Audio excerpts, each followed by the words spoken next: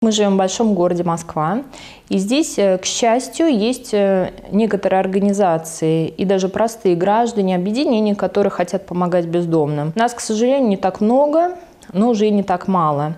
То есть здесь в первую очередь нужно отметить скажем так, государственные структуры и учреждения, которые курирует Департамент социальной защиты населения Москвы. Здесь у нас есть Центр социальной адаптации, бывший Люблино, теперь ему присвоили имя Елизаветы Петровны Глинки в ее память. Это сеть учреждений, ночлежки, куда можно прийти, получить какую-то помощь, переночевать просто или согласиться на, например, отправку домой, если он из другого региона, ему нужна такого рода помощь, или там ему могут оформить пенсию или отправить дом престарелых, или даже попытаться отвоевать квартиру. Вместе с, со стационарными учреждениями у нас есть служба, которая называется мобильная, мобильная служба, которая называется социальный патруль.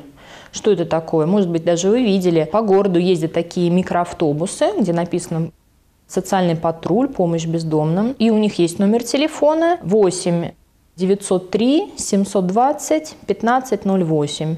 По этому номеру, соответственно, можно сообщить, если э, вы видите, что человек нуждается в помощи, человек бездомный. Они приезжают, соответственно, либо оказывают помощь на месте, либо предлагают человеку проехать как раз вот в этот центр социальной адаптации. Большую роль, конечно, в помощи бездомным играет наша православная церковь.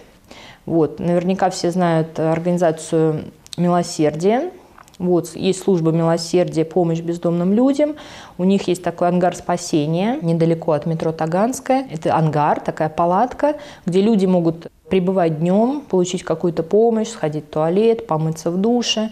А, там есть социальный работник, иногда они помогают подстричься и разные другие вещи. Это гостеприимное место, вот, поэтому очень многие как раз направляются туда. И дальше есть э, энное количество организаций добровольческих, которые как раз, э, как ни странно, тоже все связаны или с православной церковью, или с католической. То есть, как правило, это люди верующие. Не знаю, с чем это связано.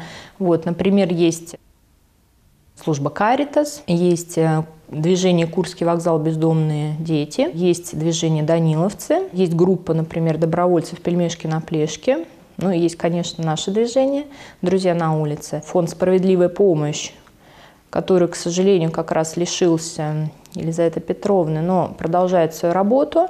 И очень приятно, что сейчас стало появляться много новых групп при приходах или просто добровольческие объединения, которые тоже, скажем так, хотят помочь бездомным. Поэтому я думаю, что на сегодняшний день нас не так много, как хотелось бы или как было бы нужно для большого города, но нас уже и немало.